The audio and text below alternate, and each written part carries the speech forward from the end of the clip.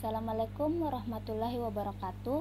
Perkenalkan nama saya Nur Fadillah dengan NIM 260 350 2023 dari Pendidikan Sosiologi kelas B angkatan 2020. Di sini saya akan membahas fenomena di masyarakat yaitu kenakalan remaja dalam perspektif konflik. Di dalam kehidupan manusia, konflik tidak pernah dapat teratasi sepanjang sejarah umat manusia. Sepanjang seseorang masih hidup, hampir mustahil untuk menghilangkan konflik di muka bumi ini.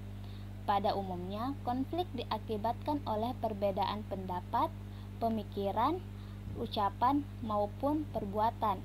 Sikap dasar yang sering menimbulkan konflik adalah yang tidak mau menerima serta menghargai perbedaan.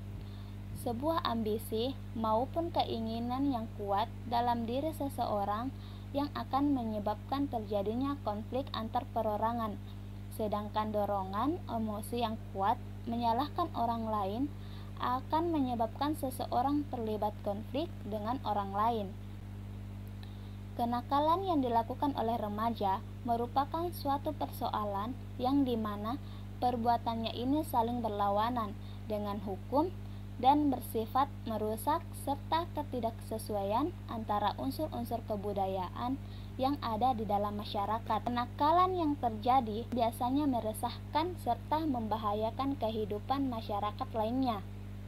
Salah satu contoh kenakalan remaja yaitu tawuran yang di mana tawuran merupakan suatu fenomena yang sudah ada sejak lama.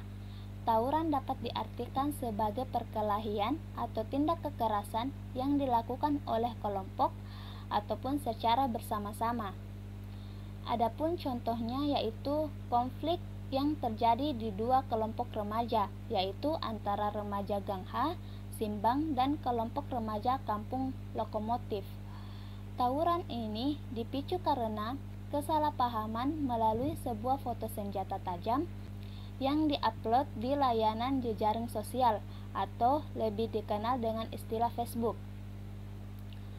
Selain itu, tingkat ego yang tinggi juga mempengaruhi terjadinya aksi tawuran di mana para pihak lawan yang terlibat saling berlomba-lomba dalam menaklukkan pihak lawan. Secara tidak langsung, mereka akan merasa sebagai orang yang kuat, ditakuti banyak orang, serta ingin dianggap jagoan.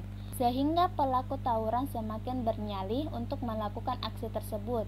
Selain itu juga, tingkat pendidikan yang rendah juga mempengaruhi terjadinya aksi tawuran di mana remaja yang sedang mengalami perkembangan ini butuh bimbingan tidak hanya dari pihak lembaga formal saja, akan tetapi peran orang tua juga sangat penting agar anak tidak mudah tergoyah oleh pergaulan ataupun lingkungan yang kurang baik.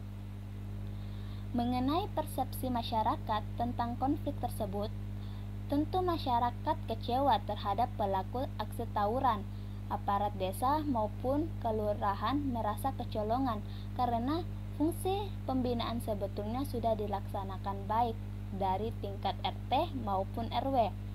Tetapi karena kenakalan remaja, rupanya sudah mendarah daging sehingga agak susah untuk menanganinya. Sebagian remaja yang terlibat diakui memang telah putus sekolah dari sini kita ketahui bahwa salah satu penyebabnya yaitu karena kurangnya kegiatan positif, sehingga bisa terjadi peristiwa aksi tawuran tersebut. Lewis Lewis Ekoser membedakan konflik atas bentuk dan tempat terjadinya konflik, di antaranya berdasarkan bentuknya. Kita mengenal konflik realistis dan non-realistis. Sedangkan berdasarkan tempat terjadinya, dikenal ada konflik in-group dan konflik out-group. Konflik in-group adalah konflik yang terjadi dalam sekelompok atau masyarakat sendiri, sedangkan konflik out-group adalah konflik yang terjadi antara suatu kelompok atau masyarakat dengan suatu kelompok atau masyarakat lainnya. Jika dianalisis, Berdasarkan teori Lewis Ekoser, yaitu fungsionalisme konflik tidak berdampak kepada hal yang bersifat negatif saja. Misalnya, timbul kekerasan dan berimbas kepada masyarakat lainnya. Akan tetapi, bisa menimbulkan hal positif, misalnya muncul norma baru di dalam suatu kelompok. Selain itu, konflik sosial tersebut termasuk ke dalam konflik yang berdasarkan tempat atau konflik outgroup karena konflik tersebut terjadi pada satu daerah yang di mana konflik tersebut terlibat pada dua kelompok remaja, yaitu kelompok Gang Hasimbang dan kelompok remaja Kampung Lokomotif. Sekian dari saya, kurang dan lebihnya mohon dimaafkan. Wassalamualaikum warahmatullahi wabarakatuh.